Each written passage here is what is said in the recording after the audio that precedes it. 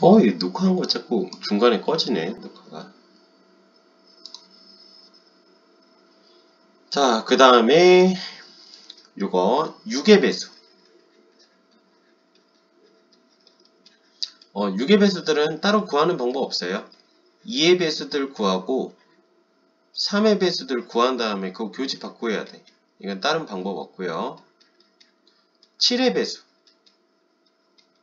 자, 여러분들 나중에 7의 배수 판정법을 여러분들이 밝혀내시면 어, 수학의 노벨상을 여러분들이 받으실 수 있습니다.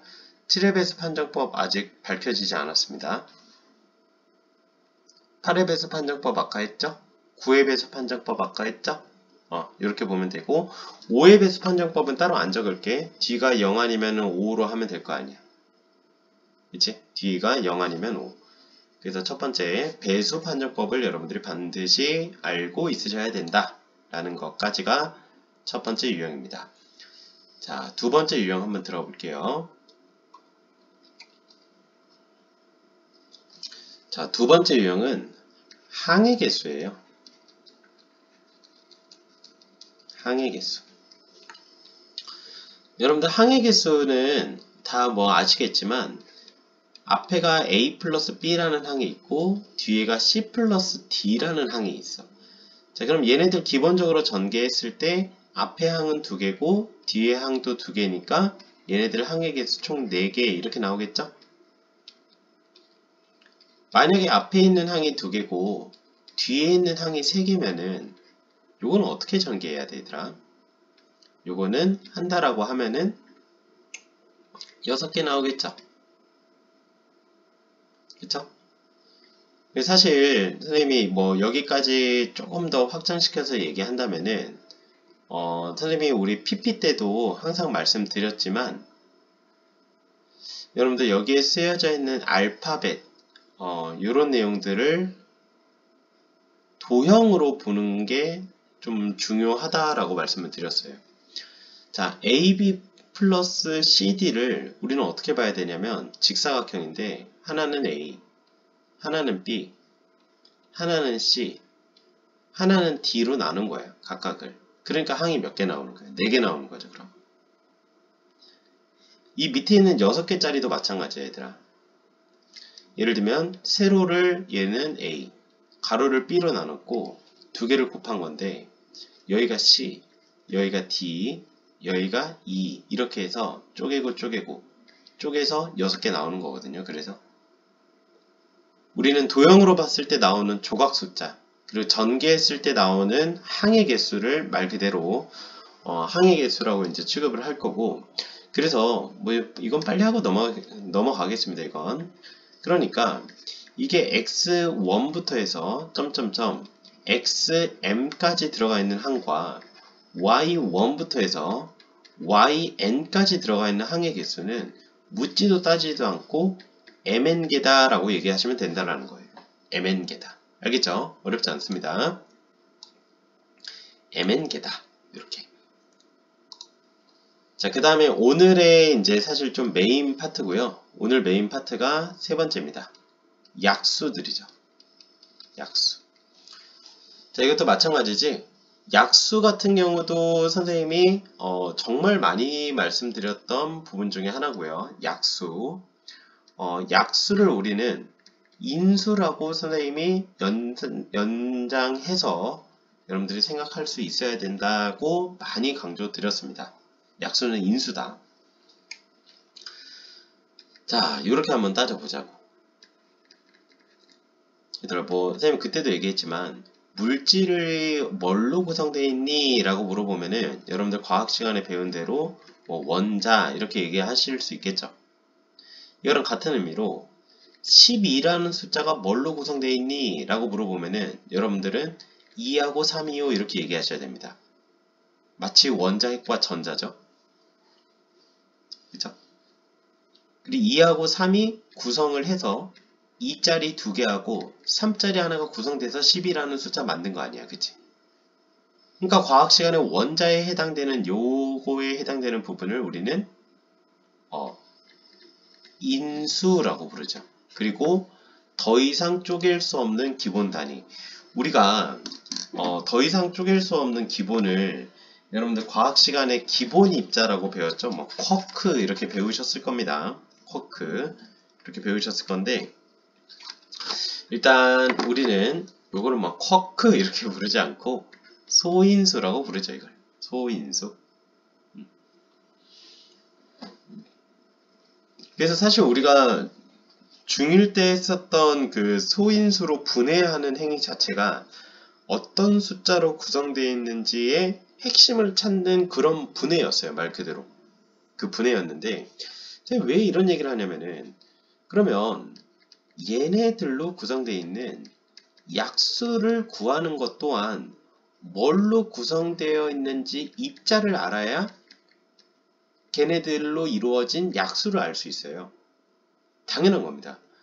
10이라는 숫자는 2라는 애와 3이라는 애가 각각 두 개 하나니까 마치 뭐 분자로 치면 뭐 H2O 이런 거랑 대충 비슷하죠. 그죠? H자리 두 개, O자리 하나. 이렇게 해서 연관이 된다는 건데, 어, 그러면 얘네들의 약수들은 마찬가지로 2의 제곱으로 만들 수 있는 약수와 3으로 만들 수 있는 약수들을 곱해서 만든 약수다 이거야 그러면. 얘들아 근데 신기한 거 한번 보자. 뭐 신기까지는 아니지만. 2의 제곱의 약수는 누가 있냐면 4니까. 1, 2, 4 이렇게 있어요. 8의 약수 한번 써볼까? 8의 약수는 누구 있냐? 거듭 제곱의 약수 얘들아 지금 이렇게 있지 하나만 더 해보자 이렇게 있죠 바꿔보면 나중에 수원 1단원에서 배우겠지만 1이라는 거는 어떤 숫자를 0제곱한 걸 1, 2라고 정의를 합니다. 선생님 편의상 이렇게 쓸게요. 그냥 2라는 거는 2의 1승이지 4라는 건 2의 2승이지 어 이게 2의 제곱의 약수구나. 8의 약수? 이거죠. 16의 약수? 이거네. 그럼 얘들아 2의 n제곱의 약수는 누구누구 있니? 처음에 2의 0승부터 2의 n승까지가 있다. 몇 개 있니? n에다가 0승 하나 더 해야 되니까 그래서 n 플러스 1개라는 거죠. 됐어요. 자 그러면 마찬가지로 그럼 얘들아 2의 약수는 당연히 2는 소인수니까 1하고 2밖에 없잖아. 그러니까 얘도 지수에 1이 있으니까 이렇게 되는 거죠. 아 그럼 우리 이렇게 볼 수 있다. 12의 약수의 개수를 물어본다라고 하면 12의 약수의 개수 일단 먼저 반드시 소인수 분해를 먼저 해봐야 된다 이거죠. 소인수 분해. 12를 소인수 분해를 해서 2의 제곱 곱하기 3으로 바꾼 다음에 아 2의 제곱 약수 너네 1, 2, 2의 제곱이 있구나. 아 3의 약수 1하고 3이 있구나. 그래서 앞에 거 약수 몇 개구나. 그래서 3개구나. 뒤에 거 몇 개구나. 2개구나. 그럼 3개짜리하고 2개짜리를 곱해서 각각 만들어진 게 약수 개수죠. 이래서 첫 번째가 항해 개수거든. 그래서 3개짜리, 2개짜리 곱해서 만든 게 항해 개수. 이게 어떻게 보면 또 약수로 들어갈 수가 있다라는 거죠. 음. 그리고 선생님이 사실 여기에 쓴 것도 심오하게 들어가 보면 여기에 쓴 것도 만약에 앞에 x 제로까지 더해진다라고 하면 이게 지금 x의 m승의 약수들을 다 나열한 거지. 그치? 이거 자체가. 이렇게 이제 문자를 도형으로도 보고 숫자로도 볼 수 있는 이런 부분들 상당히 중요합니다. 자, 어찌됐건 내려와서 약수개수 이렇게 판단할 수 있어서 그래서 우리는 어떤 n이라는 자연수가 수학에서 이렇게 정리한다고 a의 m승, b의 n승, 뭐 c의 p승 이렇게 있다라고 했을 때 단, a, b, c는 소수 라는 가정이 있다라고 하면 첫 번째, 약수의 개수는 3개짜리도 마찬가지예요. 3개짜리도. 자, 앞에 있는 거 n 플러스 1개 있을 거고요. 그쵸?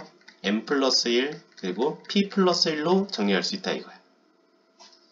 됐지? 음.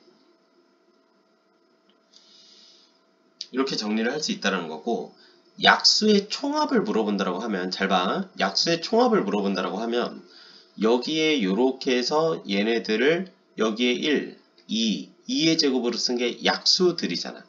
그리고 3의 약수는 1하고 3이니까 말 그대로 약수의 총합을 물어본다라고 하면 앞에 있는 약수끼리 다 더하는 거죠. 그 다음에 뒤에 있는 약수끼리 더하는 거지. 그 다음에 이 두 개를 곱한 식을 말 그대로 전개만 한다라고 하면 약수의 총합이다 이게. 약수의 총합. 그러면 이 약수의 총합은 좀만 확대할게. 그러면 이 약수의 총합이라는 거는 우리가 이렇게 구할 수 있다는 거죠. A의 M승의 약수들을 쫙 나열한다고. A0부터 해서 A1부터 해서 점점점 A의 M승까지. 원래 약수의 총합을 구하지 않고 약수 개수 쓰라고 하면은 그냥 여기에 그냥 약수들만 이렇게 해서 나열만 하면 되는데 더하기 없이 근데 지금 총합이니까 플러스 점점점 a m승까지. 그 다음에 두 번째 b의 n승의 약수들 b의 0승 1부터 해서 b의 n승까지 있을 거고 그 다음에 c의 0승부터 해서 c의 n승까지 있을 아니 p승까지 있을 거다 이거야. 그치? 이렇게 해서 우리가 약수의 총합을 나타낼 수가 있다라는 거예요. 약수의 총합.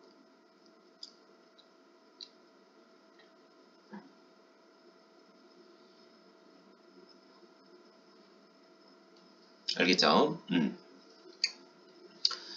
이게 이제 전체적으로 좀 기본적인 내용들이고, 어, 여기까지가 지금 이제 들어가려는 내용들인데, 어, 요거를 토대로 해서 여러분들 이제 그 문제 풀어 보시고요.